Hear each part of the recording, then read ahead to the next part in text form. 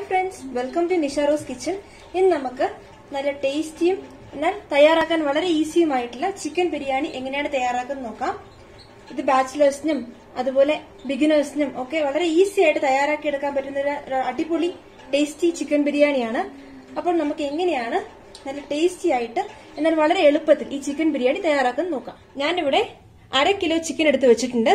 ഇതിൽ ഞാൻ ഉപ്പും ഒരു കാൽ ടീസ്പൂൺ മഞ്ഞൾപ്പൊടിയും കൂടെ ചേർത്ത് ഒന്ന് മിക്സ് ചെയ്ത് വെച്ചേക്കുന്നതാണിത്.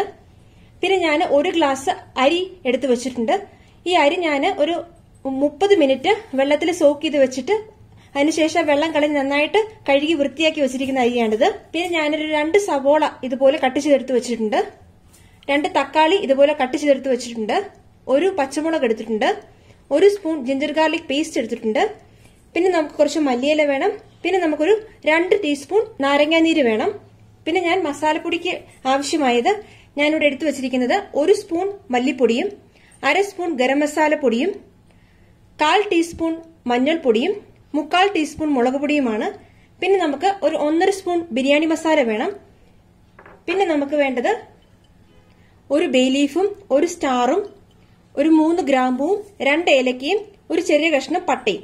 അപ്പോൾ നമുക്ക് എങ്ങനെയാണ് ഈ എളുപ്പത്തിൽ തയ്യാറാക്കാൻ പറ്റുന്ന ചിക്കൻ ബിരിയാണി?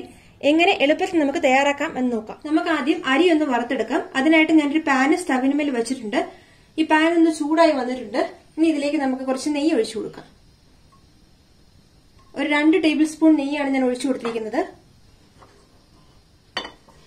ഈ നെയ്യ് ഒന്ന് ചൂടായി വരുമ്പോഴേക്കും നമ്മൾ കഴുകി എടുത്തു വെച്ചിരിക്കുന്ന അരി ഇതിലേക്ക് ഇട്ട് കൊടുക്കാം.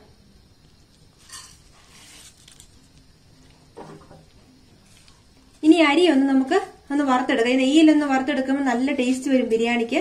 അപ്പൊ ഈ നെയ്യിലൊന്ന് നമുക്ക് ഈ അരി ഒന്ന് വറുത്തെടുക്കാം. ഇപ്പോൾ അരി നന്നായിട്ട് ഞാൻ നെയ്യിൽ വറുത്തെടുത്തിട്ടുണ്ട്. ഇനി നമുക്കിത് അരി ഒന്ന് മാറ്റി വെക്കാം. ഇനി നമുക്ക് ഈ പാനിലേക്ക് ഓയിൽ ഒഴിച്ചു കൊടുക്കാം.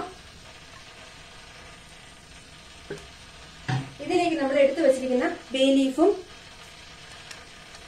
തക്കോലവും പട്ടയും ഗ്രാമ്പുവും ഏലക്കയും കൂടെ ഒന്ന് ചേർത്ത് കൊടുക്കാം. എന്നിട്ടൊന്ന് ചെറുതായിട്ടൊന്ന് വഴറ്റിയെടുക്കാം.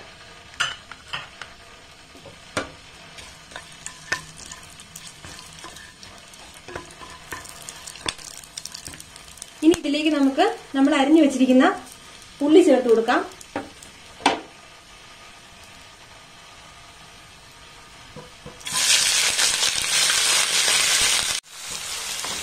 സവോള നമുക്ക് നന്നായിട്ടൊന്ന് വഴക്കിയെടുക്കണം ഇതിലേക്ക് നമ്മൾ കട്ട് ചെയ്ത് വെച്ചിരിക്കുന്ന പച്ചമുളകും കൂടെ ചേർത്ത് കൊടുക്കാം.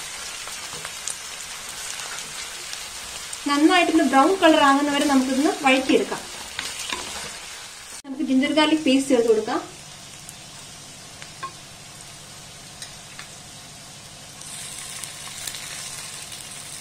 അത് നമുക്ക് നന്നായിട്ടൊന്ന് വഴറ്റിയെടുക്കാം.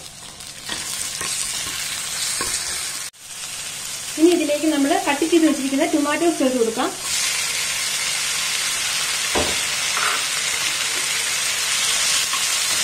നന്നായിട്ടൊന്ന് മിക്സ് ചെയ്ത് ഈ ടൊമാറ്റോ നന്നായിട്ട് ഉടഞ്ഞു വരുന്നവരെ നമുക്ക് ഒന്ന് വഴക്കിയെടുക്കാം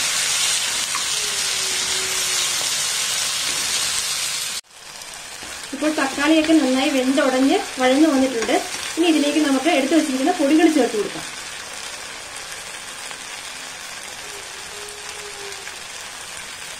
മല്ലിപ്പൊടി മുളക് പൊടി ഗരം മസാല മഞ്ഞൾപ്പൊടി. ഇത്രയും നമുക്ക് ചേർത്ത് കൊടുക്കാം.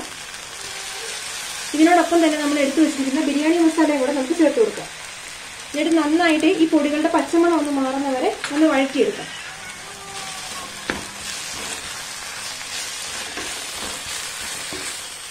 ഇപ്പോൾ പൊടികളുടെ പച്ചമണം നന്നായി മാറി വന്നിട്ടുണ്ട്. ഇനി ഇതിലേക്ക് നമുക്ക് ചിക്കൻ ഇട്ട് കൊടുക്കാം. നന്നായിട്ടൊന്ന് മിക്സ് ചെയ്തെടുക്കാം. ഇപ്പോൾ ഞാൻ ചിക്കനെല്ലാം നന്നായിട്ടൊന്ന് ഈ മസാലയൊക്കെ പിടിച്ച് നന്നായിട്ടൊന്ന് വഴറ്റിയെടുത്തിട്ടുണ്ട്. മസാലയൊക്കെ നന്നായിട്ട് ചിക്കനിലേക്ക് പിടിച്ചിട്ടുണ്ട്. ഇനി നമുക്ക് ഈ മിക്സ് കുക്കറിലേക്ക് മാറ്റാം. ഇപ്പോൾ ഞാൻ ഈ ചിക്കന്റെ മിക്സ് കുക്കറിലേക്ക് ഇട്ട് കൊടുത്തിട്ടുണ്ട്. അതോടൊപ്പം നമ്മൾ നെയ്യിൽ വറുത്ത് വെച്ചിരിക്കുന്ന അരിയും ചേർത്ത് കൊടുക്കാം. ഇപ്പോൾ നമ്മൾ നെയ്യിൽ വറുത്ത് വെച്ചിരിക്കുന്ന അരിയും ഇട്ട് കൊടുത്തിട്ടുണ്ട്. നമുക്ക് നന്നായിട്ടൊന്ന് മിക്സ് ചെയ്തെടുക്കാം. ഇപ്പോൾ ഞാൻ നന്നായിട്ട് മിക്സ് ചെയ്ത് കൊടുത്തിട്ടുണ്ട്. ഇനി ഇതിലേക്ക് നമുക്ക് മല്ലിയുടെ ഇട്ട് കൊടുക്കാം.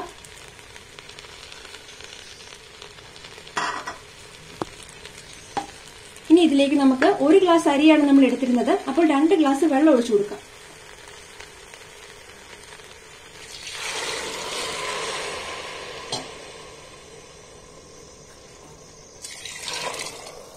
ഇനി ഇതിലേക്ക് നമ്മൾ എടുത്തു വെച്ചിരിക്കുന്ന നാരങ്ങാനീര് ചേർത്ത് കൊടുക്കാം.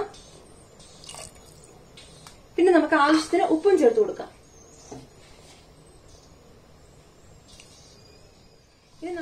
ഇപ്പോൾ ഞാൻ നന്നായി മിക്സ് ചെയ്ത് കൊടുത്തിട്ടുണ്ട്. ഇനി നമുക്ക് കുക്കർ അടച്ച് മീഡിയം ഫ്ലെയിമിൽ ഒരു വിസിൽ വരുന്നവരെ നമുക്കൊന്ന് വെയിറ്റ് ചെയ്യാം. ഒരു വിസിൽ വന്നപ്പോൾ ഞാൻ ഓഫ് ചെയ്തിട്ടുണ്ടായിരുന്നു. ഇപ്പൊ നമ്മുടെ കുക്കറിന്റെ പ്രഷർ എല്ലാം മാറി ഞാനിപ്പോ തുറന്നു നോക്കി. ഇത് കണ്ടോ? നല്ല അടിപൊളിയായിട്ട് കറക്റ്റ് ആയിട്ട് വെന്ത് വന്നിട്ടുണ്ട്. നമ്മുടെ ബിരിയാണി കറക്റ്റ് ആയിട്ടുണ്ട്. നമുക്കിനി ഒരു സെർവിംഗ് പ്ലേറ്റിലേക്ക് മാറ്റാം. അപ്പോൾ നമ്മുടെ ടേസ്റ്റി ആയിട്ടുള്ള ചിക്കൻ ബിരിയാണി ഇവിടെ റെഡി ആയിട്ടുണ്ട്. ഞാനൊരു സെർവിംഗ് പ്ലേറ്റിലേക്ക് മാറ്റിയിട്ടുണ്ട്. ഞാനൊരു മൂന്ന് പേർക്കുള്ള അളവാണ് ഞാൻ പറഞ്ഞിരിക്കുന്നത്. നിങ്ങൾക്ക് അതനുസരിച്ച് കൂട്ടുകയോ കുറയ്ക്കുകയോ ഒക്കെ ചെയ്യാവുന്നതാണ്.